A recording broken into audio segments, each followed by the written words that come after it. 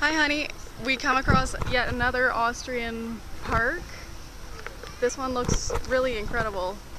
Like, there's this little, I don't know if you see that roundabout tire thing. Which looks really cool. And then we look straight ahead, and there's some other amazing building that we're gonna go check out. Like, it just doesn't end here, honey. Love you.